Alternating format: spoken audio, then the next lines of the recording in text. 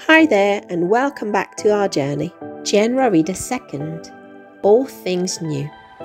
He who sat on the throne said, Behold, I make all things new.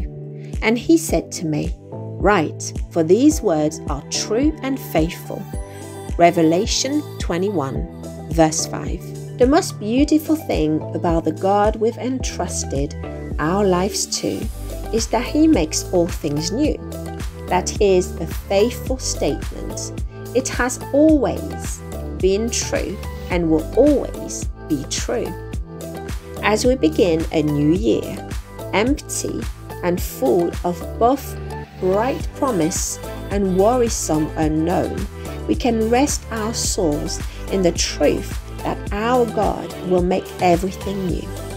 Our regrets, mistakes, and failures are nothing compared to His covenanted promise of redemption and newness.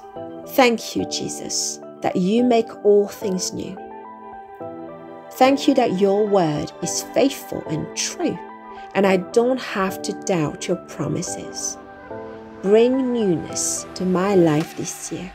Take my regrets and turn them into new beginnings. Amen. I hope this was a blessing to you. Come back tomorrow for another message. Take care and God bless.